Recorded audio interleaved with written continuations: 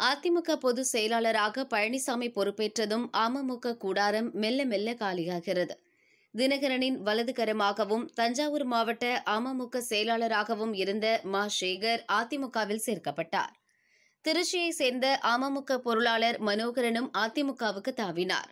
தினகரன் தரப்பு முக்கிய புள்ளிகள் இருவரையும் தம் பக்கம் ஈர்த்துள்ள பழனிசாமி இதனை பிரம்மாண்டமாக காட்ட திட்டமிட்டுள்ளார். அவர்கள் அதிமுகவில் இணையும் விழாவை கட்சி பொதுக்கூட்டம் போல நடத்த வலியுறுத்தினார்.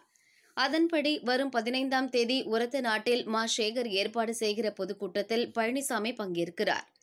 உரத்த நாடு பன்னீர்செல்வத்தின் தீவிர ஆதரவாளர் வைத்திலிங்கத்தின் சொந்த ஊர்.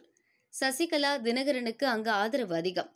அமமுகவுக்கு சாதகமான இடத்தில் தன்னுடைய பலத்தை காட்ட நினைக்கிறார் பழனிசாமி.